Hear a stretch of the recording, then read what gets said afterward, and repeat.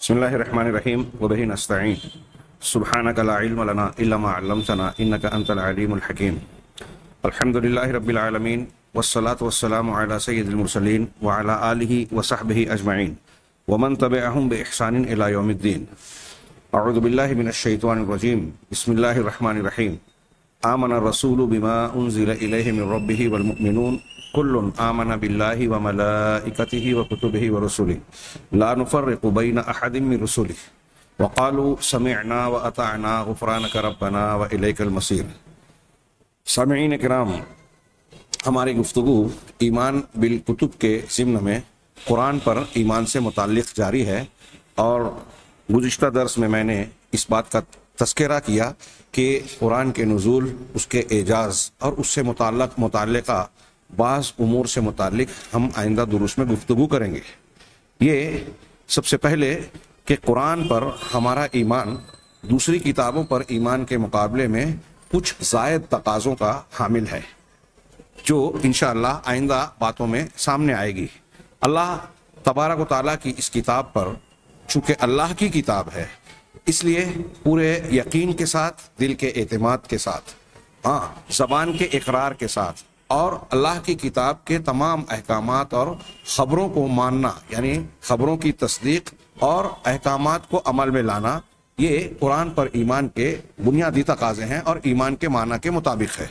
चुनानचे एक मुसलमान पर फ़र्ज़ और वाजिब है कि वो कुरान करीम पर तफसीली तौर पर ईमान रखे, पूरे कुरान पर तफसीली तौर पर ईमान रखे कि पूरा कुरान मैं मानता हूँ। इकरार के करते हुए और जितनी उसकी ताकत और इल्म है, उसके मुताबिक इत्तबा करते हुए।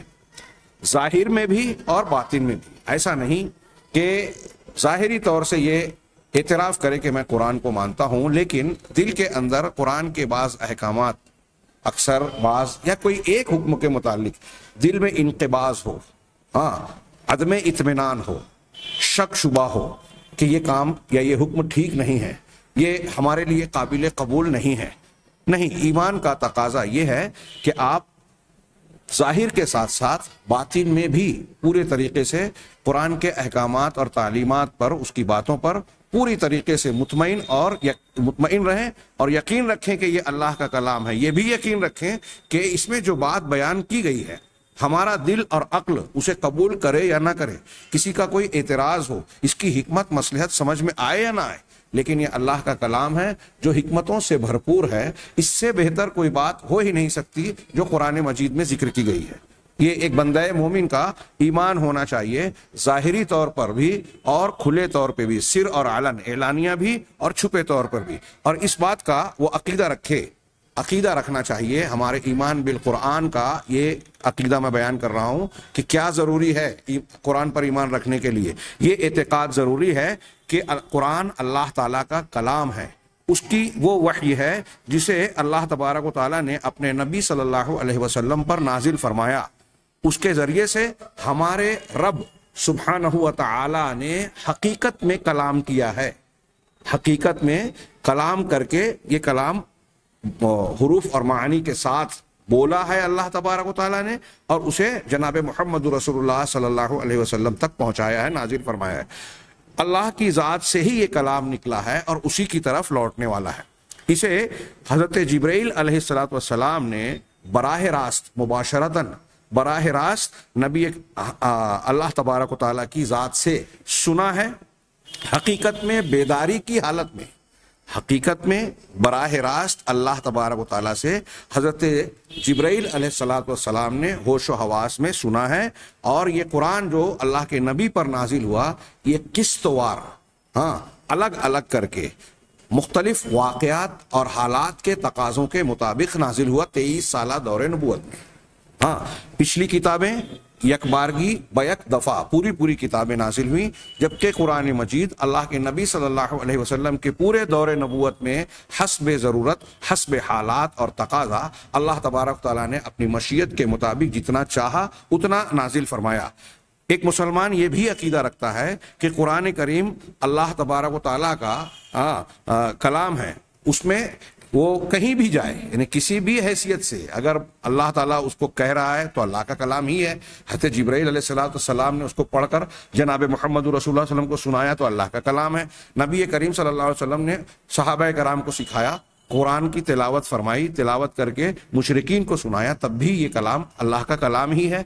अगर आप और हम पढ़ते हैं, हिफ्ज करते हैं, किताबों में लिखते हैं हाँ चुनाचे ये सुना जाए हाँ पढ़ा जाए या सुना जाए या लिखा जाए या दिलों में महफूज किया जाए, जबानों से, आवाज़ के ज़रिए से हाँ अदा किया जाए, जबानों से पढ़ा जाए, इसी तरीके से कान और हमारी उंगलियाँ और कलम और सुदूर, इनके ज़रिए से जो भी कुरान को लिखा जा रहा है, बोला जा रहा है, ये सब तो अल्लाह का कलाम है, लेकिन ये सारी चीज़ें जो कलम है, हमारी जबान है हाँ कागज़ है जिस पर कुरान लिखा जा रहा है, रोशनाई है जिसके ज़रिए से लिखी जा रही है, ये चीज़ें मखलूक है।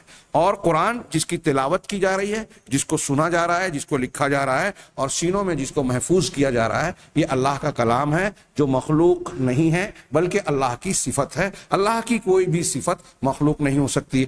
सिफत अल्लाह की ज़ात का ही हिस्सा है और अल्लाह की ज़ात जब हमेशा से है, अल्लाह की ज़ात मखलूक नहीं है तो उसकी सिफात भी हमेशा से है, मखलूक नहीं है। चुनाचे इसकी हकीकत ये हमारे सामने वाजे हुई कि अल्लाह तबारक ताली ने इस कलाम को हाँ बोलकर हकीकत में हज़रत जब्राईल सलाम के ज़रिए जनाब मोहम्मद रसूलुल्लाह सल्लल्लाहु अलैहि वसल्लम से पर नाजिल किया बेदारी की हालत में। इसी तरीके से ये भी वाज तौर से साबित शुदा अम्र है नसूस के ज़रिए कि ये किताब, यानी कुरान करीम, ये अल्लाह के पास से नाजिल शुदा तमाम किताबों की खातिम है, खातम है। ये आखिरी किताब है। अब इसके बाद अल्लाह ताला की बात से कोई किताब नाजिल होने वाली नहीं है। चुनान से ये सारी पिछली किताबों के मुकाबले में आखिरी किताब है। इन किताबों में सबसे ज़्यादा अजमत वाली है, सबसे ज़्यादा शर्फ और बुलंदी वाली है, सबसे ज़्यादा हिदायत और उसकी हिदायत पर मुश्तमिल तालीमत पर मबनी है, समेटे हुए है। इसी तरीके से ये तमाम पिछली किताबों की मुहाफिज निगरान और फैसल है।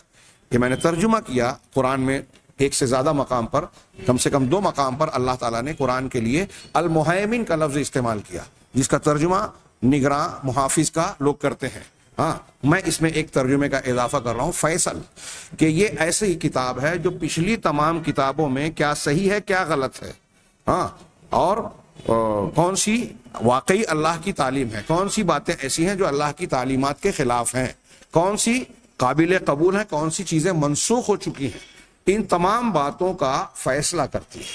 अल्लाह तबारक ताली की तालीमत जो नाजिल की गई है इससे पहले, उसमें जिन चीज़ों का मानना बंदों के लिए ज़रूरी है, उन चीज़ों को हिफाजत के साथ साफ़ सुथरे अंदाज में यकीनी तौर पर, बगैर शक शुबे के, चूँकि पिछली किताबें तहरीर शुदा हैं। उनमें शक शुबा है। लिहाजा कुरान जो तालीम पेश कर रहा है, उससे मुनक्का करके, खालिश और पीवर शक्ल में अब दुनिया के सामने पेश कर रहा है कि ये वो तालीमत हैं जो आसमान से नाजिल की गई हैं। इसमें कोई मिलावट, कोई आमेजिश, किसी फ़िक्र की मुदाखलत नहीं है।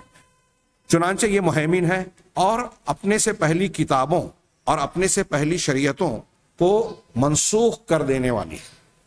इस पर कुछ लोगों को एतराज़ होता है, अहले किताब को, मुस्तशरकिन को, मुनकरीन हदीस को। लेकिन ये बात न सिर्फ़ कुरान और हदीस से साबित है, बकले, बल्कि अक्ल और फितरी तकाजों के मुताबिक भी ये कोई ऐसी बात नहीं है जिससे कोई एतराज़ पैदा हो। ये अल्लाह ताला की एक सुन्नत है, जिसमें आजमाइश का पहलू भी है, बंदों के साथ लुत्फ करम का भी पहलू है। कि बंदों को अल्लाह तबारक ताला ने अपनी पूरी शरीयत का मुकल्लफ या बारगी नहीं बनाया, बतदरीज बनाया। जब कुरान नाजिल हो रहा था तो इकट्ठा पूरी तालीमत नहीं दे दी कि आज के आज सारी चीज़ें मान लो, बल्कि बतदरीज ये दिया। हाँ अब पहले एक चीज़ चली आ रही थी, उसको खत्म करके बाद में उनके हालात जब तरबियत के साथ और कुत के साथ आगे बढ़ गए, तरक्की पा गए तो अल्लाह तबारक ताली ने अब वो इस लायक समझे गए कि उनको अगला हुक्म दिया जाए। इसमें अल्लाह तबारक ताली का लुत्फ करम भी है। हाँ इसी तरीके से ये कुरान मजीद जो है, वो पिछली किताबों और शरीयतों के जितने भी उसूल हैं, जितनी भी खूबियाँ हैं, और ऐसी तमाम चीज़ें जिसका मानना बंदे के लिए, निजात के लिए ज़रूरी था जो अल्लाह तबारक ताली की जानब से मतलूब और मकसूद था, उन सारी बातों को, सारी खूबियों को, सारे उसूल को इस कुरान ने अपने अंदर समेट लिया। फ़ी कुल्ल शय, जब कहा जाता है तफसील कुल्ल शय हर चीज़ की तफसील है, यानी हिदायत से मुतालिक, उन चीज़ों से मुतालिक जो बंदे की निजात के लिए ज़रूरी है, जिसके लिए अल्लाह ने बंदों के ऊपर बंदों को कुरान अता किया। तो जिस मकसद के तहत दिया, उस मकसद में हर चीज़ को बयान करने वाली ये किताब है। और उसी मकसद में ये भी बयान करती है कि नबी करीम सल्लल्लाहु अलैहि वसल्लम को रसूल मानो, उनको, उनकी इत्तबा करो। उनकी इत्तबा करना अल्लाह की इत्तबा है। उनकी बात मानना अल्लाह की बात मानना है। उन्होंने जो चीज़ दी है, ले लो, जिससे मना किया है, रुक जाओ। और फिर अल्लाह और रसूल को कैसे मानना है, वैसे मानो, जैसे सहाब कराम ने माना फ़िन आमनु बेमिसलमा आमन तुम भी फ़कद दो ये खुद कुरान कहता है। चुनानचे कुरान ने हर चीज़ को बयान कर दिया। तो इसमें दीन की सारे उसूल पिछली किताबों के सारे बुनियादी उसूल दीन और शरीयत के और उसकी खूबियाँ इस कुरान में सिमटी हुई है। और ये कुरान हमेशा हमेश कयामत तक कयामत तक बाकी रहने वाला है। एक हदीस है कि जब कुरान पर कोई काम अमल करने वाला नहीं रहेगा इन आइंदा उसका आ, आ, अगले दर्स में उसका तस्करा आएगा कि जब कोई अमल करने वाला कुरान पर नहीं रह जाएगा तो अल्लाह तबारक कुरान के प्रूफ को दुनिया से उठा देगा। हम्म। ये रिवायत सही है, इब्ने माजा वगैरह में, जिसको अलवानी साहब वगैरह ने सही कहा है। तो ये बाकी और खालिद है हमेशा कयामत के कायम होने तक ये चीज़ रहेगी, यानी पूर्व कयामत तक। हाँ चुनाचे इसके बाद कोई ऐसी किताब नाजिल होने वाली नहीं है, जो इसके अहकाम और शराय में कोई तब्दीली कर दे। हम्म इसके अहकाम और शराय में, शरीयतों में कोई तब्दीली कर दे, कुरान के उसूल को या अल्लाह के नबी सल्लल्लाहु अलैहि वसल्लम की शरीयत को कोई भी नहीं बदल सकता। अब कोई आए और कहे कि मुझे कश्फ होता है। हाँ हाँ ये बड़ी दिक्कत की बात थी दुश्मनान दीन के लिए। हाँ कहते हैं बरतानवी हुकूमत हिंदुस्तान में बड़ी परेशान थी। हाँ मुजाहिदीन आज़ादी से मुसलमानों में ख़ास तौर से जो थे तो जिनको उन्होंने वहाबी का नाम दिया, अंग्रेज़ों ने ये नाम दिया, और वो परेशान थे। तो अब किस तरह से इस मुखालिफ सैलाब को तूफ़ान को रोकें तो उन्होंने बड़ी गहरी साजिश रची और अपनी जानब से मुसलमानों में एक शख्स को नबी बनाने की कोशिश की। हम्म, और वो मिर्ज़ा गुलाम अहमद कादियानी था। हाँ बरतानवी हुकूमत का मबूस किया हुआ नबी झूठा नबी। चुनाचे उसने नबूत का बतदरीज जो दावा किया, मैं अगर उसकी तफसील में जाऊँ तो लंबी बात हो जाएगी। यहाँ सिर्फ़ ये तस्करा करना चाहता हूँ कि उसने, उसका बुनियादी मकसद ये था कि मुसलमानों में जो जज्ब जिहाद है, हुक्म जिहाद है, उसको मनसूख किया जाए। और ऐसा मनसूख करने के लिए कुरान की शरीयत और मोहम्मद सल्लल्लाहु अलैहि वसल्लम की तालीमत को कोई मनसूख कर नहीं सकता, कोई मुसलमान उसे कबूल नहीं कर सकता। तो पहले मुसलमानों के एक तबके को ये को ये एहसास दिलाया जाए, इस गलत फहमी में मुबतला किया जाए कि किसी किस्म की नबूत मजीद आ सकती है। चुनाचे इसने एक नई इतलाह गढ़ी बुरूसी और जिली नबूत की और फिर उसके बाद ये दावा करने के बाद उसने जिहाद को मनसूख करने की बात कही और इस किस्म की और भी कुछ तशरीयात को उसने निशाना बनाया। हाँ लेकिन ज़ाहिर सी बात है कि अल्लाह के नबी सल्लल्लाहु अलैहि वसल्लम को जो ख़ातमुलनबीयीन कहा गया और कुरान को आखिरी किताब कहा गया तो ये बिल्कुल अटल और हर एतबार से फैसला कन वाज बात थी कि किसी भी किस्म की नबूत नबी करीम सल्लल्लाहु अलैहि वसल्लम के बाद नहीं चलेगी। जब सही अहल सुन्नत वल जमात का ये अकीदा है कि अल्लाह के नबी वसल्लम की तालीम होने के, के, के मुकाबले में किसी का कश्फ किसी का ख्वाब किसी का इश्तहाद किसी की राय नहीं चल सकती तो नबूत के ये वो सच्चे ख्वाब को नबूत का छियालीसवां हिस्सा कहा गया। लेकिन उम्मत का इतफाक है कि उससे शरीयत का कोई हिक्म साबित करना या कोई हुक्म मनसूख करना, ये मुमकिन नहीं है, ये इसमें काबिल कबूल नहीं होगा। तो ये बिल्कुल ऐसे उसूल और जबते थे जो इस्लाम को हर तरफ़ से महफूज बना देने वाले थे। अब कोई इंतहाई जाहिल और बेबसीरत ही हो सकता है जो इस किस्म के ढोंग और इस किस्म के झूठे फरेब में मुब्तला हो जाए कि मिर्ज़ा जैसे लोगों के पीछे चल पड़े।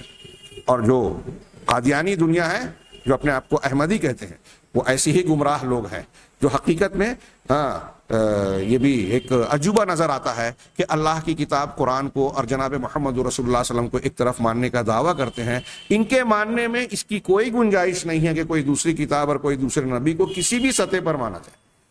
लेकिन ये शैतान की तजीन है, खुशनुमाई है और फरेब है। ये तलबी से इबलीस है। कि लोग दीन के नाम पर दीन से गुमराह हो जाते हैं। सही मनहज को छोड़कर दूसरे मनाहिज इख्तियार कर लेते हैं। अब हमारे दरमियान भी ऐसे बहुत सारे लोग हैं, जो मुसलमान अपने आप को कहते हैं। इस्लाम के लिए जज्बे खैर भी रखते हैं, बाज़ कुर्बानियाँ भी देते हैं, वक्त देते हैं, लेकिन सही दीन से दूर हैं। शिरक और तोहहीद में तमीज़ नहीं है।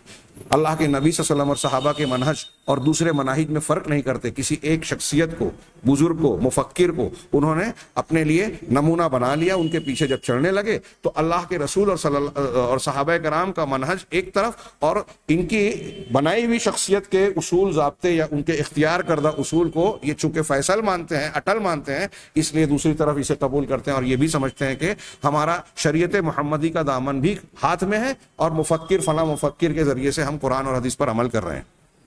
ये बहुत बड़ा धोखा है जिसमें दुनिया के लोग, दुनिया की एक बड़ा तबका, मुख्तलिफ़ फ़िरक़ों और तंजीमों के नाम पर मुबतला है। चुनानचे ये बात समझ लेनी चाहिए कि अल्लाह की किताब और जनाब मोहम्मद रसूलुल्लाह की शरीयत, ये इससे निकल रहा है। ख़त्म नबूत का और आखिरी किताब और दीन के मुकम्मल हो जाने का ये तकाजा है कि अब कोई नई चीज़, नई फ़िक्र, नया उसूल दीन का हिस्सा ना माना जाए। अल्लाह का दीन मुकम्मल है। मुकम्मल होने का मतलब जिसमें कमी की भी गुंजाइश नहीं और ज्यादती या बेशी की भी गुंजाइश नहीं।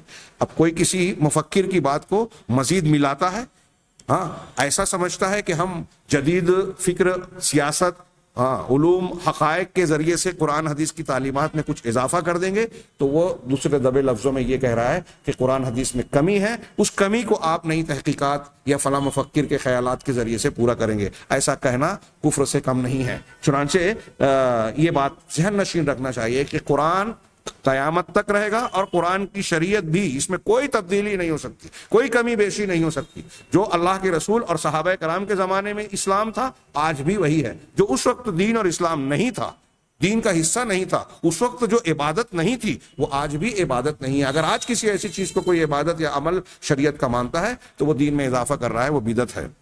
चुनाचे इसके बाद कोई ऐसी किताब या कोई ऐसी चीज़ नहीं आ सकती जो कुरान के अहकाम में, कुरान के शराय में कोई तब्दीली कर दे, कुछ भी तब्दीली कर दे। चुनाचे फलम या आपका किताब किताबत तो कोई ऐसी किताब अब बाकी नहीं है, कोई कुरान के अलावा कोई किताब बाकी नहीं है कि कुरान के अलावा उसके ज़रिए से अल्लाह की इबादत की जाए, उसके ज़रिए से अल्लाह के बारे में अकीदे इख्तियार किया जाए।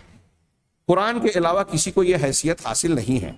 दूसरी किताबों और शख्सियात की कोई बात अगर हम हमारे लिए कबूल करनी है, समझनी है, माननी है तो उसके लिए फैसला कुरान और कुरान का हामिल कुरान जनाब मोहम्मद रसूलुल्लाह सल्लल्लाहु अलैहि वसल्लम करेंगे। वहाँ से अगर कोई बात रद्द हो गई तो वो कितनी भी बड़ी बात हो, किसी नबी की तरफ़ मंसूब ही क्यों ना हो, वो बात काबिल कबूल नहीं हो सकती जो कुरान के खिलाफ हो। तो अल्लाह की इबादत करने के लिए भी कुरान की तालीम और उसूल इख्तियार किए जाएँगे, इससे हटकर नहीं। चुनाचे इंसानों और जिनों में से किसी के लिए ये गुंजाइश नहीं है, जायज़ नहीं है कि वो कुरान के अहकाम में से, कुछ अहकाम से खरूज इख्तियार करे, अलाहदगी इख्तियार करे और कुरान के रास्ते को छोड़कर कोई दूसरा रास्ता और कोई दूसरा मनहज इख्तियार करे। अगर कोई ऐसा करता है तो बिल्कुल वाज तौर पर वो गुमराही और बरगश्तगी का शिकार है। वो सिरात मुस्तकीम से हटकर उन रास्तों पर चल रहा है जो जहन्नम की तरफ़ ले जाने वाले हैं। ये कितना अहम मामला है, कितना आला मकाम है कुरान का, इस बात से अंदाज़ा लगाइए कि अल्लाह तबारक ताली ने कुरान मजीद को इंतहाई बुलंद मकाम अता किया है। और मैंने बार बार ये ज़िक्र किया और इसको समझें, मुसलमान आज बहुत से जो नहीं समझते, गैर मुस्लिम समझते हाँ हमारे ऊपर अल्लाह की जो नेमतें हैं, उनमें कुरान से बढ़कर कीमती नेमत कोई और नहीं है।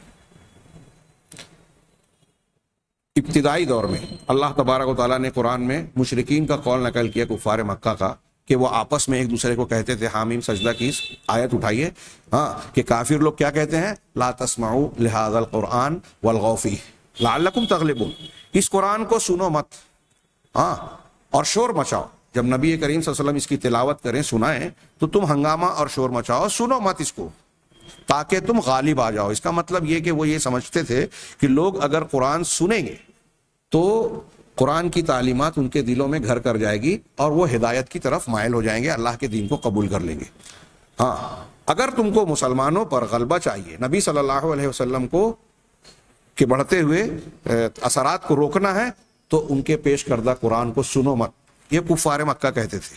और आज के कुफ़ार मुस्तशरकिन हो, दूसरे लोग हों, बड़ी मेहनत करके, बड़े मंसूबे बनाकर इन्होंने लोगों को कुरान से दूर करने की मुख्तलिफ़ तहरीकें इख्तियार की कि लोगों को, मुसलमान नौजवानों को लहब में हाँ फ़िल्मों में और तफरीहात में मशगूल किया जाए। दूसरी किताबों का खुगर बनाया जाए। अरबी ज़बान से दूर कर दिया जाए कि जब अरबी ज़बान ही नहीं जानेंगे तो कुरान समझ कर पढ़ेंगे ही नहीं, समझेंगे ही नहीं। हाँ दीनी उलूम को हकीर बना दिया, कमतर बना दिया। दूसरे तो दूसरे बहुत सारे तालिबान, इल्म, बहुत सारे मदरसे चलाने वाले जिम्मेदारान अब उलमा को, दीनी उलूम को कमतर समझते हैं। हाँ पस्ती की निगाह से देखते हैं। हाँ आज लोगों को मजबूरी में ये इख्तियार करना पड़ता है कि दीनी तालीम की तरफ़ लोगों को अट्रैक्ट करने के लिए, रागिब करने के लिए उसके साथ कुछ दुमछल्ला लगाया जाए। हम्म कि ऐसी चीज़ का जिससे लोगों को लगे कि इसको हासिल करने के बाद दुनिया भी कमाई जा सकती है। कहीं आपने ये नहीं सुना होगा कि तिब्बी, के तिब्बिया कॉलेज में दीनी तालीम का शोबा शामिल किया जाए। हाँ इंजीनियरिंग कॉलेज में हिंदसा के कॉलेज में फला के कॉलेज में फला के कॉलेज में उलूम दीनिया को इस तरह से बनाया जाए कि आदमी इंजीनियर के साथ साथ आलिम भी बन जाए। लेकिन एक दुनिया का एक तबका कहता है कि आलिम के साथ आप डॉक्टर भी बनाओ, फला भी बनाओ डिमा भी बनाओ। मैं ये नहीं कहता कि उनको नहीं सीखना चाहिए या इसके मुखालफत कर रहा हूँ। एक फलसफा बता रहा हूँ कि दुनिया अगर नहीं लगी हुई है तो लोग दीन को गैर ज़रूरी समझ रहे हैं। कुरान को गैर ज़रूरी समझ रहे हैं। जबकि ये कुरान की तालीम सबसे आला है। अल्लाह के नबी ने फरमाया, इसका मकाम अंदाज़ा लगाइए, खैरुकुम मन तअल्लमल कुरान व तुम में सबसे बेहतर वो है, जो कुरान को सीखे और सिखाए। दुनिया के बड़े से बड़े उहदे वाला, आज पैसे वाला, उहदे वाला, मनसब वाला हमारे नज़दीक बड़ा है। कुरान के इल्म वाला हमारे नज़दीक हकीर है। अल्लाह के नबी कह रहे हैं, सबसे ज़्यादा आला मरतबे का हामिल वो है जो कुरान सीखे और सिखाए। कुरान से जो वाबस्ता होता था, साहब कराम के दरमियान उसको गवर्नर बनाया जाता था, किसी इलाके का वाली बनाया जाता था, काजी बनाया जाता था, जज बनाया जाता था, और बड़े बड़े उहदे दिए जाते थे कुरान के इल्म की बुनियाद पर। और हमारे यहाँ कुरान का इल्म गैर ज़रूरी या कमतर बनकर रह गया है। यानी दूसरा मतलब यह कि हमारी नज़र में कुरान की नेमत की कदर कीमत घट गई है। कुरान और कुरान की तालीम आज जबानी तौर से मुसलमान हाँ उसके तकदस का चुमने चाटने का या ऐसी वो हरकतें जो शरीयत से साबित नहीं है, वो सब करते हैं एहतराम और अदब लेकिन जो कुरान के मानने का, ईमान बिल किताब का जो तकाजा है, ये हम जान रहे हैं। हाँ अल्लाह तबारक ताली ने इसका क्या मकाम दिया और इसके मुतालिक हमारे ऊपर क्या हुकूक मुतन की हैं, वो इख्तियार करना इसके आला मकाम को मानने का तकाजा है। चुनानचे अल्लाह तबारक ताली ने इसको बड़ा ऊँचा मकाम और मंजिला मकाम दिया है। चुनानचे ये ईमान के छः अरकान में से एक रुकन है। ईमान बिल किताब और ईमान बिल कुतुब में बुनियादी तौर से कुरान पर ईमान है। जब आपने कुरान को माना तो कुरान कहता है कि तौरात, इंजील जबूर और दूसरे सहूफ भी जो है, वो अल्लाह के नाजिल करता है। आप खुद बखुद दूसरी चीज़ों को मानते हैं। तो ये ईमान के अरकान में से एक बुनियादी अरकान है, जिसके बगैर अल्लाह तबारक ताली किसी बंदे के ईमान को कबूल नहीं करेगा। हाँ चुनानचे ये कुरान दिलों का नूर है, जिसके ज़रिए से इंसान के नफूस जो है, वो मुनवर और रोशन होते हैं। इसमें फरहत और सुरूर भरता, भरते हैं। इसके अंदर इंशराह और खुलापन पैदा होता है, सूझबूझ, हकीकी फरासत और इंशराह पैदा होता है। इसमें अल्लाह तबारक ताली की जानब से बहुत ही वाज और खुली हुई निशानियाँ हैं, आयतें हैं। इसमें बैन और रोशन दलीलों पर मुश्तमिल मानी और मतालिब हैं। हाँ इसके ज़रिए से मगमूम अपने गम से निकलता है। अल्लाह के रसूल वसल्लम ने जो दुआएँ कर सिखाई अल्लाह अब्दु को अबनु अब्दी को अबनु अमतिक नासियती बियदिक। सही रिवायत है, बड़ी शानदार दुआ है। उसमें आखिर में यही है, बड़े वसीलों के बाद जो दुआ मांगी अल्लाह के रसूल ने कि अल्लाह, तू इस कुरान को मेरे दिल का अल्लाह सुरूर बना दे। हाँ मेरे गम और हम को दूर करने का ज़रिया बना दे, मेरे सीने का नूर बना दे। हाँ कुरान रबी अकल भी मेरे दिल का वक्त, दिल की बहार बना दे। मालूम यह हुआ कि यह कुरान गम व हम को दूर करने का ज़रिया है, दिल को तंगी से निकालकर कुशादगी की तरफ़ लाती है। हाँ ये कुरान ऐसी उन कुरान के आला तरीन मकाम पर दलालत करने वाली ये बात ये भी है कि ये कुरान अल्लाह के नबी सल्लल्लाहु अलैहि वसल्लम के मोजात में से सबसे अजीम और दायमी किस्म का मोजा है। चुनानचे ये हमेशा हमेश रहने वाला, जब तक इंसानी आबादी है। और इंसानों पर अल्लाह तबारक ताला के दीन की हजत कायम करने की ज़रूरत है, तब तक अल्लाह तबारक ताला की जानब से नाजिल करदा ये मोजा जो अल्लाह तबारक ताला की तोहद, खुद अपने, अपनी हक्कानियत और जनाब मोहम्मद रसूलुल्लाह सल्लल्लाहु अलैहि वसल्लम की नबूत को साबित करने के लिए बिल्कुल बैन वाज और रोशन दलील के तौर पर है।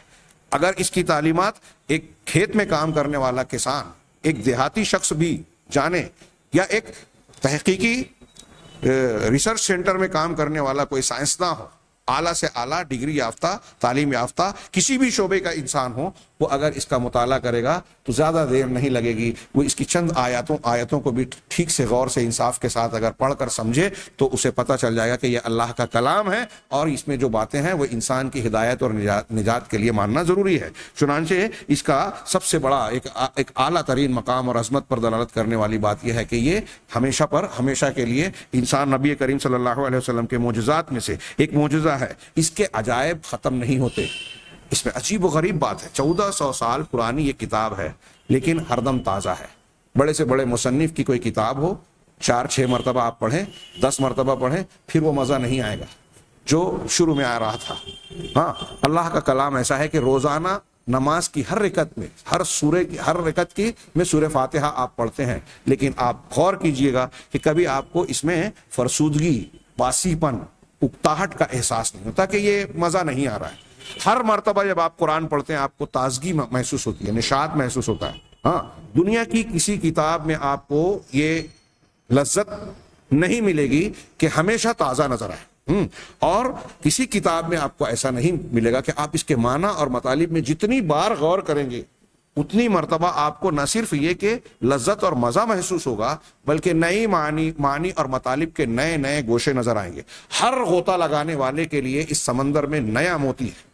हाँ हर इंतहा के बाद अगर आप इसमें गौर फ़िक्र और तालीम ताल्लुम के सिलसिले में मेहनत करते हैं तो हर आखिरी मंजिल पर पहुँचने के बाद आपके नए सफ़र के आगाज़ के लिए पहली मंजिल का काम भी वही मकाम अता करेगा। ये कोई मामूली बात नहीं है। चुनानचे इसके एजाज, इन्हें मोजात के कितने पहलू हैं?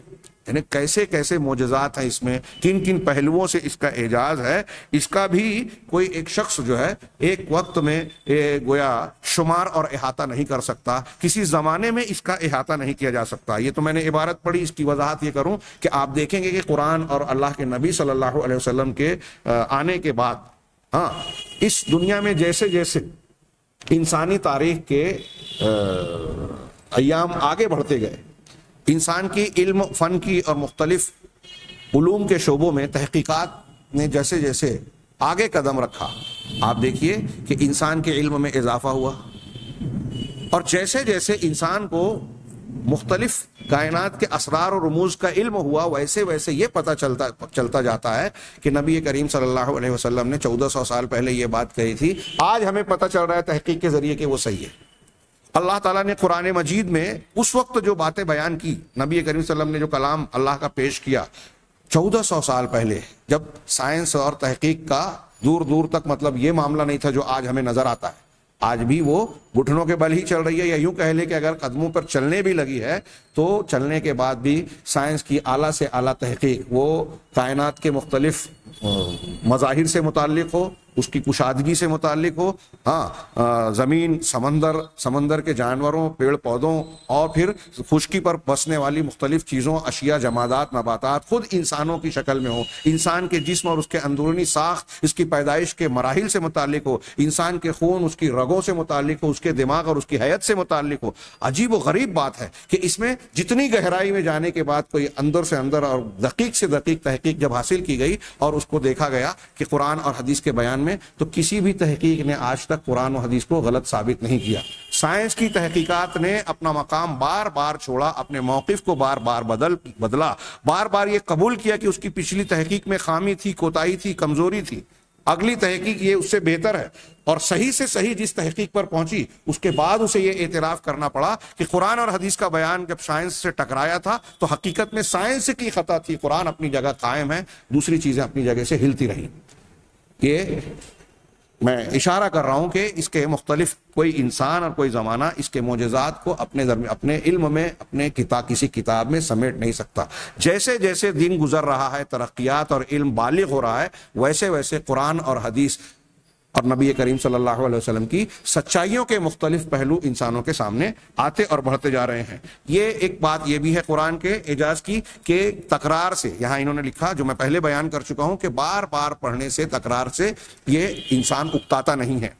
मैंने सूर्य फातिहा की मिसाल दी। ये दुनिया की किसी किताब और किसी इबारत में आपको नज़र नहीं आएगा। और छह हज़ार आयतों में से किसी एक आयत के बारे में आप ये नहीं कह सकते कि ये हश व जवायद में से है, ये बेकार है, इसका कोई फ़ायदा नहीं है, इसके अंदर मानवीयत नहीं है। जैसे कोई मुसनफ़ आला से आला अदीब और बड़े से बड़ा साहिब कलम शायर हो या कोई भी हो, अगर वो मोटी किताब लिखता है तो आप कई जगहों पर यह कह सकते हैं कि इस इबारत की ज़रूरत नहीं थी या इसके अंदर वो बात नहीं है जो दूसरे मकाम पर है। इसमें ज़ोर बयान में, यहाँ बयान में कमज़ोरी है, यहाँ अल्फाज के इस्तेमाल में ख़ता हो गई है और इस किस्म की बहुत सी कमज़ोरियाँ आपको नज़र आएगी। लेकिन कुरान की छह हज़ार आयतों में कहीं एक लफ्ज आपको ऐसा नज़र नहीं आएगा कि आप ये कह सके कि यहाँ इस लफ्ज से ज़्यादा बेहतर फला लफ्ज था। बल्कि आप गौर करेंगे तो मालूम होगा जो लफ्ज इस्तेमाल हुआ है वही सबसे बेहतर, सबसे ज़्यादा मानवीयत और फसाहत बलागत का हामिल है। तो तकरार से इसको कोई जो है उकताहट का शिकार नहीं होता। बल्कि बार बार पढ़ने से इसमें दूसरा फ़ायदा नज़र आता है कि जितनी बार आप इसको दोहराते हैं तकरार करते हैं। ये और ज़्यादा आपको माना और मतालिब खोल कर बयान करता है। और ज़्यादा रोशनी देता है। इसकी तजल्लियाँ और बढ़ जाती है। और ये ऐसा है कि अपने दूसरे पर गालिब होता है। इस पर कोई गालिब नहीं हो सकता। साइंस हो हाँ फलसफा हो, मंतिक हो हाँ जोग्राफिया हो, कोई और इल्म का शोबा हो।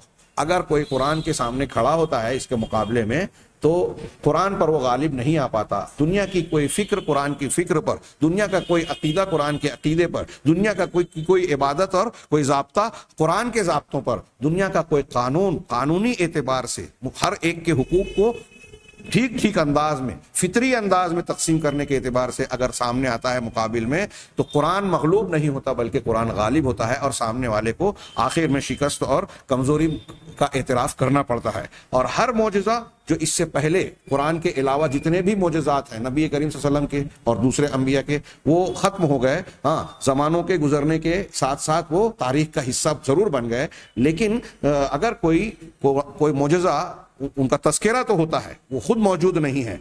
लेकिन कुरान का मामला इससे जुदा है। ये ऐसा मौजूदा है जो ज़िंदा है हाँ और हर रोज इसके हक्कानियत में, इसके मोजा होने के माना और मतलूब में इजाफा होते जाता है हाँ और ये हर वक्त तजदीद अपने साथ हाँ जिसको आज की जबान में वो क्या कहते हैं, कंप्यूटर पे अपग्रेड करना।